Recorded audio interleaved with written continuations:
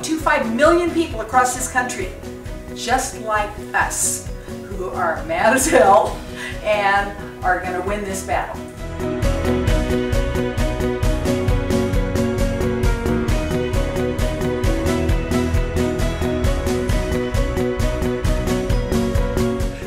Your power and your voice the closest and restore that balance. And here's the tool to do that. And this is a tool that was given us in the Constitution to restore your voice, reconnect with government. You ship everything off to Washington.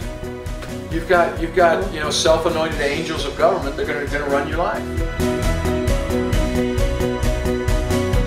This is a mechanism to get done what we have to do to save the country.